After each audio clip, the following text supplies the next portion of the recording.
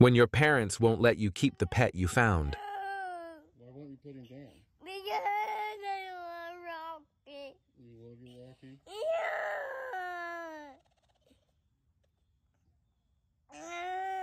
Does he bite you a lot? No, he doesn't. He doesn't? Yes, he does. Oh, he does?